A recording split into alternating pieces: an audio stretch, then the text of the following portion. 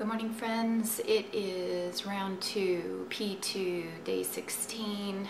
I am getting ready for work this morning so I thought I'd show you how I make my salads. Um, stats real quick. On Saturday I was 135.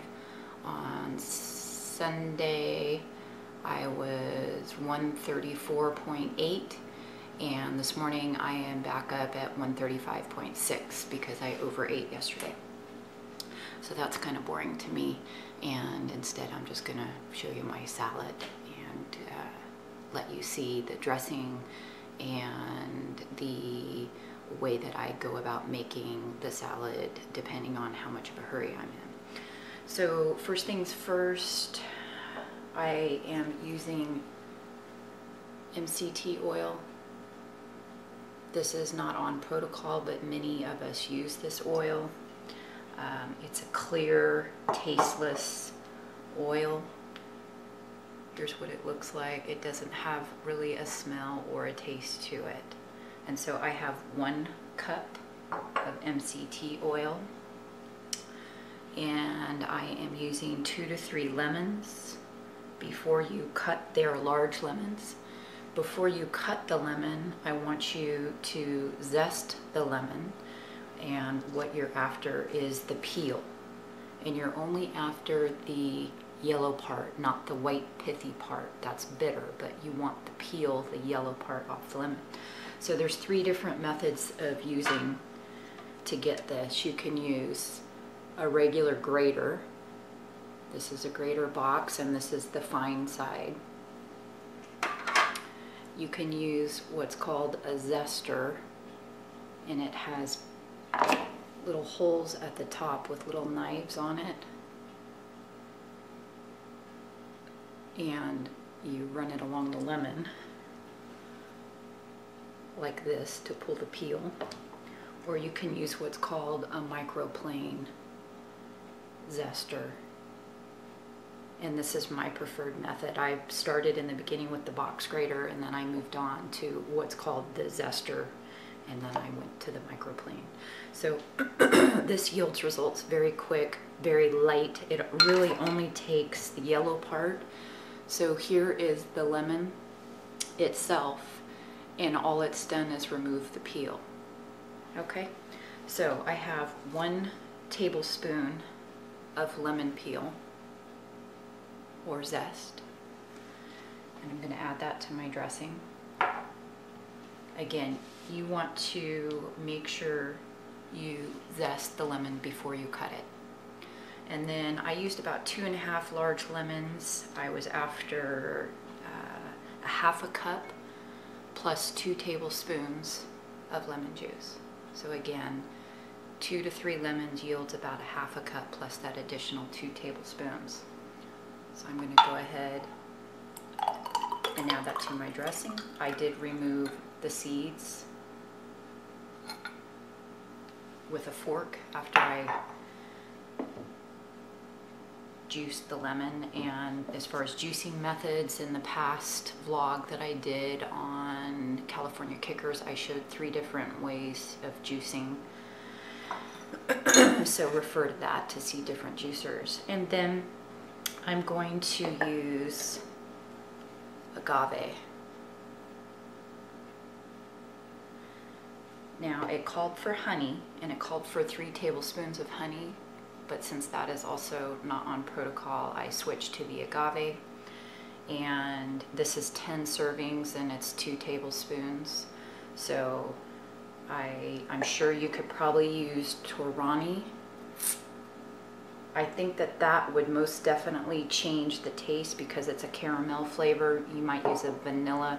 Uh, the dressing is already fairly sweet, so I think the Torani may or may not, I don't know yet because I haven't tried it, alter the flavor. So two tablespoons of agave, pouring that into the dressing.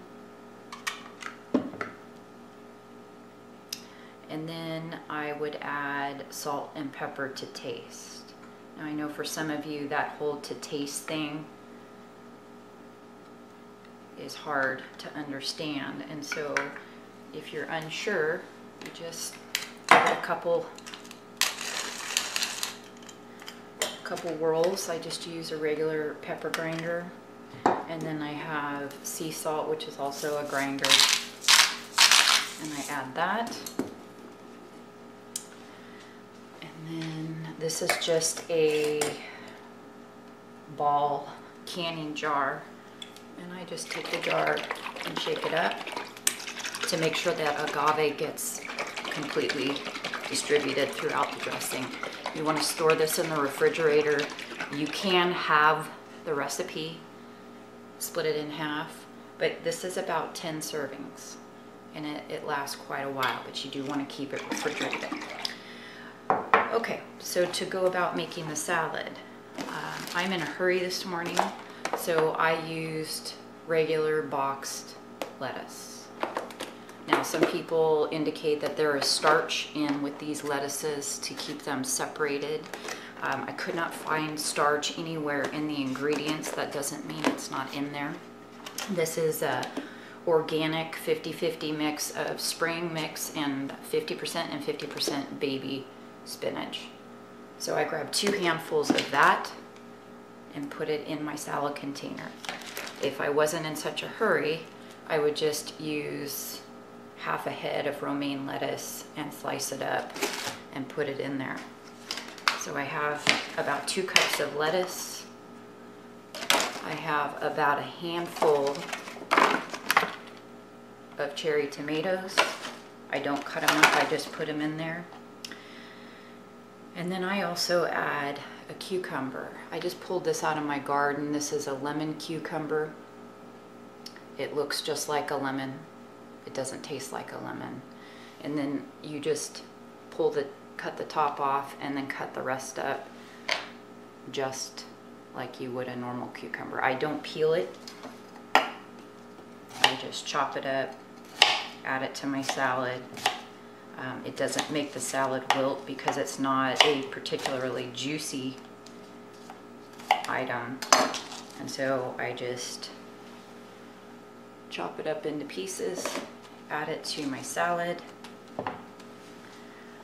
I pour my dressing. This is a handy little container. I think I got it at, was called the Container Store or Storables or something like that. It's a, you could probably get it online. Can't even see who made it. Expandable Products LLC out of Anaheim. So it's just a very, it's a soft-sided dressing. This is about two tablespoons full of dressing. It has a flip top cap so you can pour it, but it keeps your dressing contained. It doesn't leak. I toss it in my salad. I add my chicken. This is directly out of the freezer. It's still frozen. It keeps the salad cold for the day. Goes in there. I add my fork. Put the lid on and there is food to go. Now that looks like a lot of food. I may not eat all of it, but at least the option's there. Sometimes I add a grissini stick in a plastic baggie and put that in there also.